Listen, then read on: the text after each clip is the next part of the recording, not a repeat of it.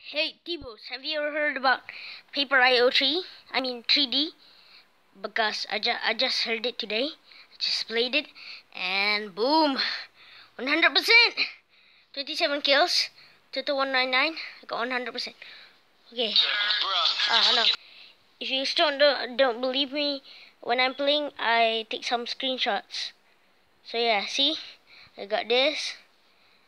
I just, my name is I'm Dizzy got this I got this got this now this is um 89% 94% and I got this I thought I was so scared because I thought there's some player will spawn but no then I got all it comes that and this happened yeah.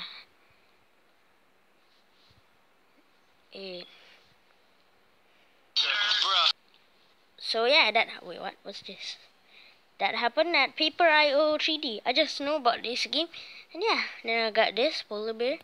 This is for staying 5 seconds outside your area. Got this, I think kill 10 players. Got this, I don't know what's this for. Kill 20 players. I don't know what's this. Yeah, wait, what's this? Wait, is it a new map?